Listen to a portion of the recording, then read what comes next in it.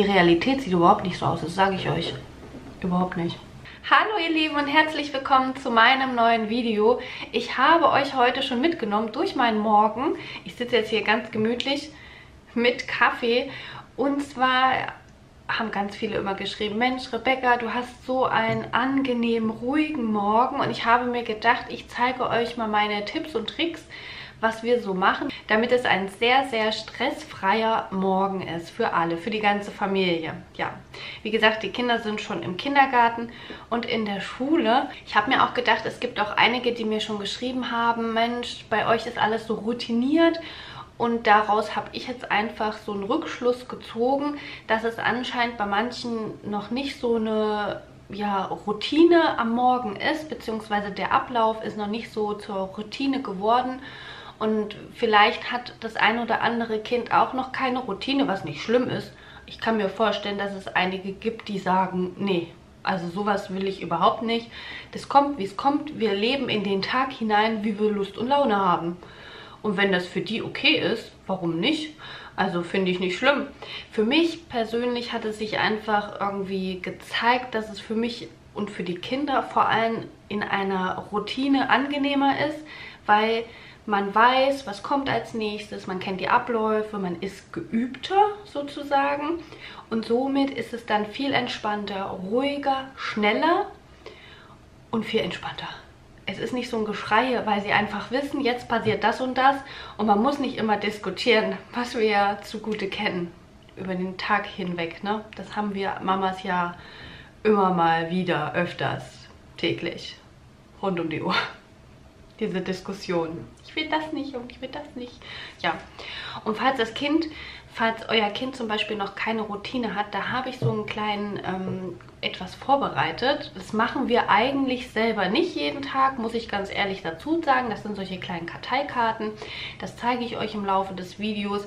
Aber ich denke, als Start fürs Kind, um eine Routine zu erlernen, ist das richtig, richtig hilfreich. Und ich glaube, dass man das so zwei, drei Wochen anwenden kann bzw. benutzen kann und dann wird es wahrscheinlich langweilig werden für die Kinder, gehe ich ganz stark davon aus. Diese Karteikarten sind dann irgendwann langweilig, aber die Routine hat sich dann verfestigt. Ja, und das ist ja das Ziel dabei.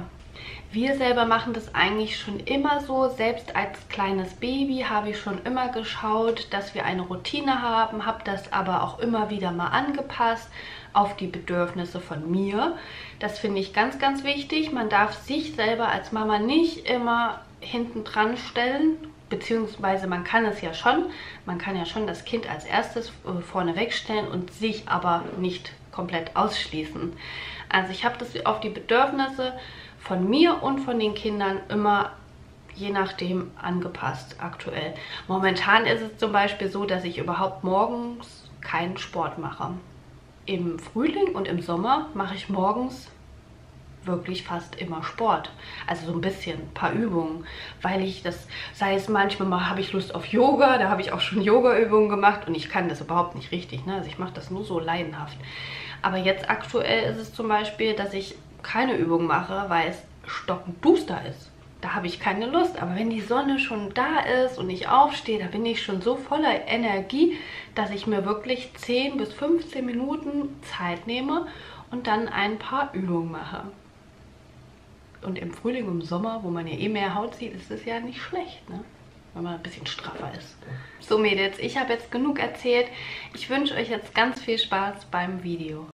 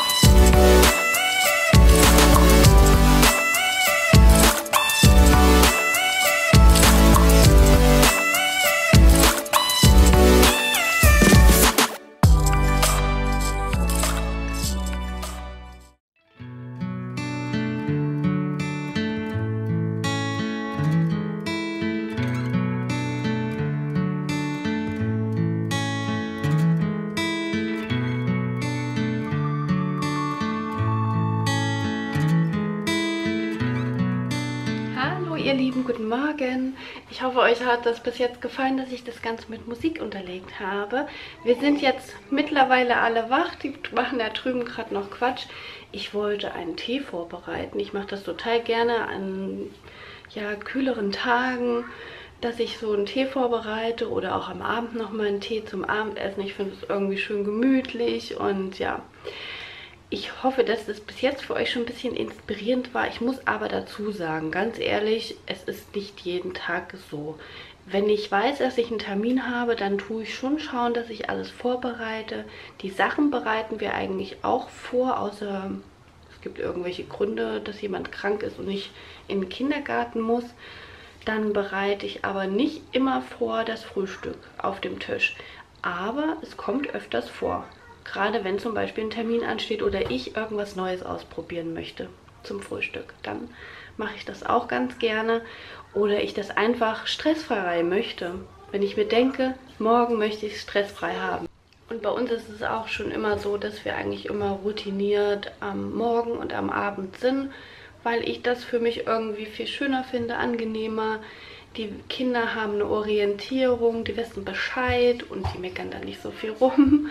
Also ich finde das einfach viel leichter und ich habe auch das Gefühl, dass sie dadurch schneller selbstständiger geworden sind. Guck mal, den Tee habe ich letztens entdeckt, der ist so süß.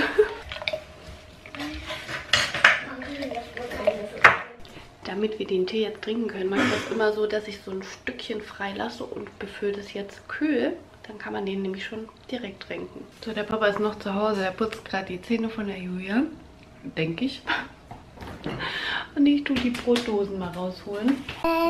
Ja, das nehmen wir mit. Da haben wir einmal Kohlrabi, Würstchen und ein belegtes Brot. Auch wenn sie es nicht mag, kriegt sie es immer mal wieder mit. Und ab und zu isst sie ja ein bisschen was.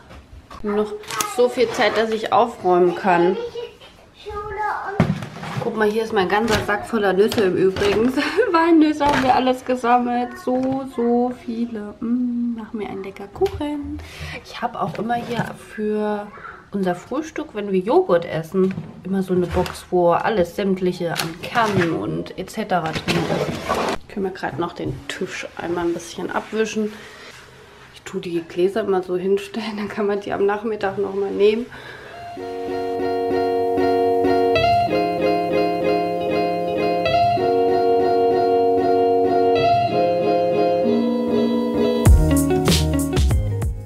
Ihr Lieben, für uns geht es jetzt in die Schule und in den Kindergarten. Ich hoffe, euch hat das Video gefallen und es waren ein paar Inspirationen dabei. Wie gesagt, diese Karteikarten nehmen wir aktuell nicht. Ich habe es euch einfach zeigen wollen, weil ich denke, dass es vielleicht auch jemanden hier gibt, der hat ein älteres Kind und das Kind hat vielleicht noch keine Routine, weil sie das früher einfach ohne gemacht haben, also den Morgen ohne Routine gestartet haben und sich jetzt gedacht haben, okay, jetzt könnte ich mal eine Routine machen, wäre vielleicht doch schöner, gerade für die Schulkinder, denn die Zeit ist ja knapp. Und man muss auch dazu sagen, der Morgen ist schon nicht jeden Tag gleich.